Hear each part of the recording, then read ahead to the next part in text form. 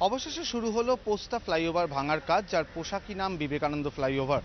আমরা দেখতেই পাচ্ছি চারদিকে সেই কাজ চলছে এই মুহূর্তে।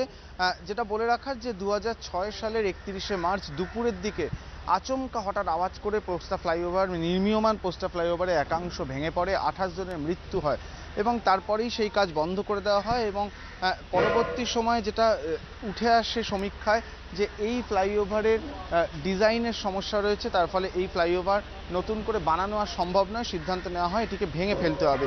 কেএমডিএ এই ভাঙার কাজ শুরু করে দিল এবং মূল কাজটি করছে রাইটস। এবং আমরা দেখতেই পাচ্ছি যে বেশ কিছু যন্ত্রপাতি এনে কর্মীরা কাজ শুরু করেছেন। আপাতত পঞ্চাশ মিটার অংশকে ভাঙা হবে, চারটি ভাগে ভাগ করা হয়েছে মূল কাজ।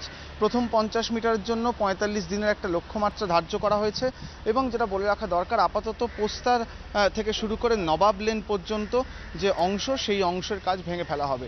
তার জন্যই কিন্তু চারদিকে প্রস্তুতি নেওয়া হয়ে গিয়েছিল গত চার পাঁচ দিন ধরে এবং তার সঙ্গে এই কাজ যাতে নিরাপদভাবে হয়, আমরা দেখতেই পাচ্ছি যে যে অংশে কাজ হচ্ছে, সেখানে প্রচুর সিসিটিভি ক্যামেরা মজুত রাখা হয়েছে, যেটা বলা হচ্ছে কেএমডি এর তরফ থেকে এই সিসিটিভি ক্যামেরাগুলোর মাধ্যমে চব্বিশ ঘন্টাই একাকে নজরদারির মধ্যে রাখা যাবে।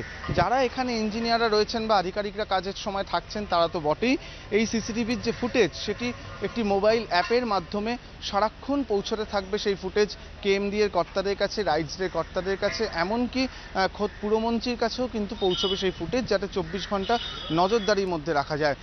যেটা সিদ্ধান্ত নেওয়া হয়েছে যে লেজার ব্যবহার করা হবে লেজার দিয়ে এই টি আকৃতির যে বিমগুলো আমরা দেখতে পাচ্ছি যে কাঠামোগুলো তৈরি হয়েছে, সেটা টি আকৃতির।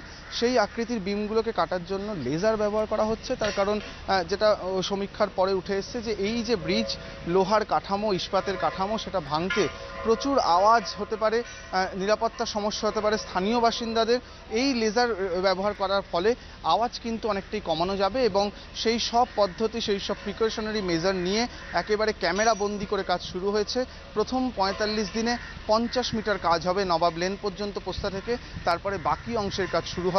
এবং ধাপে ধাপে পোস্তা ফ্লাইওভার, যেটা কলকাতার অন্যতম একটা দুঃস্বপ্নের সাক্ষী হয়ে দাঁড়িয়েছিল গত পাঁচ বছর ধরে, সেই ফ্লাইওভার ভেঙে ফেলার কাজ সম্পূর্ণ করা হবে। ক্যামেরায় দীপ্তেন্দু চক্রবর্তীর সঙ্গে অরিত্রিক ভট্টাচার্য এবিপি আনন্দ, কলকাতা। কোভিডের কারণে অন্য রোগে আক্রান্তদের হাসপাতালে আসার প্রবণতা কমেছে। ফলে হাসপাতালে মজুদ ওষুধ মেয়াদ উত্তীর্ণ হবার মুখে। নষ্ট হতে পারে প্রায় কোটি টাকার ওষুধ। স্বাস্থ্য ভবনকে বিষয়টি জানিয়ে চিঠি দিল বেলেঘাটা আইডি হাসপাতাল। দু হাজার কুড়ির শুরুতে বেলেঘাটা আইডিকে করোনা চিকিৎসায় নোডাল হাসপাতাল হিসেবে ঘোষণা করে স্বাস্থ্য দপ্তর। তারপর এই হাসপাতালে ধাপে ধাপে বাড়ানো হয়েছে কোভিড বেডের সংখ্যা। পাল্লা দিয়ে কমেছে নন কোভিড বেড।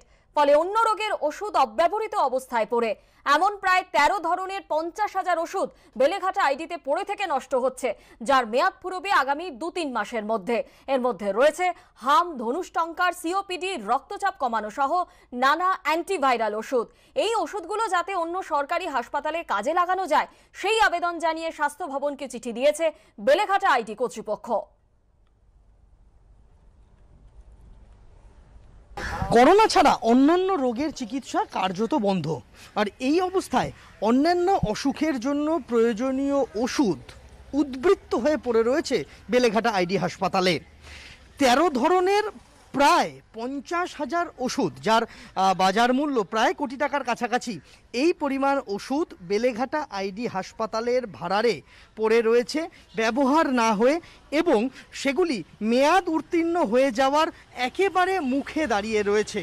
এই অবস্থায় এই বিপুল পরিমাণ ওষুধ যাতে কোনোভাবে নষ্ট না হয়, তার জন্য স্বাস্থ্য দপ্তরকে চিঠি লিখল বেলেঘাটা আইডি হাসপাতাল কর্তৃপক্ষ।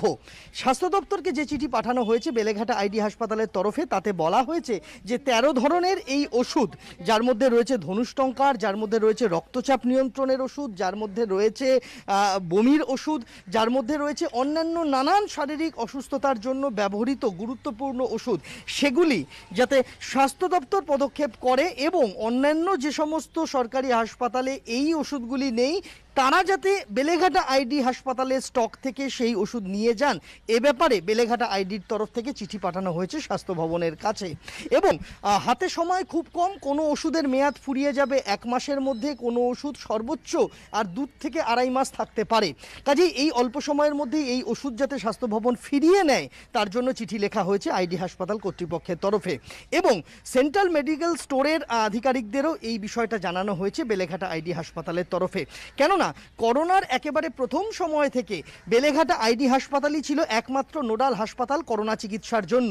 এবং তারপরে ধাপে ধাপে অন্য হাসপাতালে করোনা চিকিৎসা শুরু হলেও বেলেঘাটা আইডি হাসপাতালের গুরুত্ব কিন্তু কমেনি, বরং রোগীর চাপ উত্তরোত্তর বাড়তে থেকেছে। সেই অবস্থায় অন্যান্য রোগীদের সংখ্যা কমতে থাকায় এই বিপুল পরিমাণ ওষুধ উদ্বৃত্ত থেকে যায়। এই ওষুধ যাতে মেয়াদ ফুরিয়ে নষ্ট না হয়ে যায়, তার জন্য বেলেঘাটা আইডির তরফ থেকে এই চিঠি। সেরকমটাই হাসপাতাল সূত্রে খবর। সঞ্জয় চট্টোপাধ্যায়ের সঙ্গে সন্দীপ সরকার এবিপি আনন্দ, কলকাতা।